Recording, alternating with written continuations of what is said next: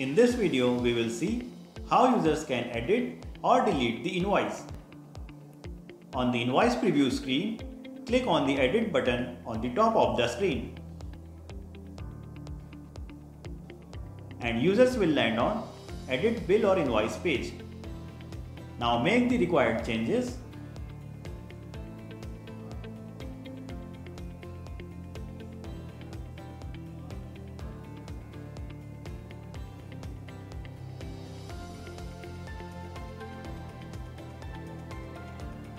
and then click on Generate Bill. Your invoice will get updated and will be displayed on the screen.